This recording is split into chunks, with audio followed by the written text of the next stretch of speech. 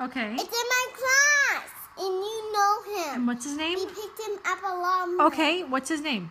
Ryan. That's what I said. Wyan? No. That's not. I said why in. in Why? In, in, in. Y N? Yeah, why in? Wyan?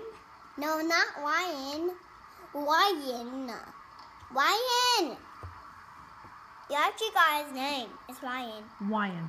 No, it's Ryan. Ryan?